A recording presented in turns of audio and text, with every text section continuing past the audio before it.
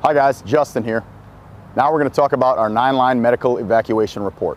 1 Charlie 01 to Centurion TOC, nine-line medevac request. Providing a nine-line medical evacuation request, as well as a MIST report, helps ensure that our medical team that is coming to evacuate our casualty are fully equipped and prepared to receive this casualty. In doing so, remember that you can use the DD Form 1380 and the MIST report specifically off of the DD Form 1380. So as it's written, it's bolded across our DD Form 1380.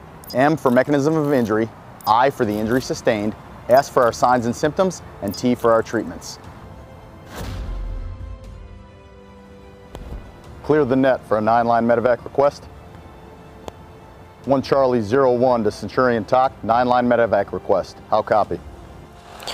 1 Charlie 01, this is Centurion TOC. Send the 9 line over. Roger. Line 1, 1, 0, Sierra, Golf, Juliet, 0, 6, 8, tree, 4, 4, 6, 8. Line 2, 3, 0, dot 3, 2, 5 in the clear. 1 Charlie 01. Line 3, urgent. Line 4, ventilator. Line 5, 1 litter, break. Line 6, possible enemy in the area. Line 7, smoke. Line 8, 1 U.S. mill. Line 9, no NBC consideration. Terrain, we got a flat open terrain south of our given grid coordinate. That completes the medevac request. After I receive a readback, I will follow with a MIST. How copy, over? Line 1, 1 0 Sierra, Golf, Juliet, 0 6 8. Centurion TOC 1 Charlie 01. Prepare to copy the MIST report, over. Copy, send the MIST report over.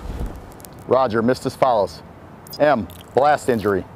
I, penetrating injury to the left side of the chest as well as the left armpit. S, casualty is alert with an elevated heart rate of 140 a minute. Elevated respirations at 32 a minute with strong radial pulse.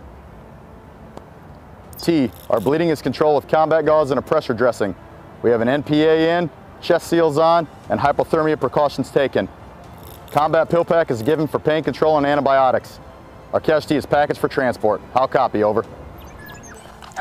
MIST received, dust off is 25 mics out, over. Make sure to remember not to release any personally identifiable information in doing so.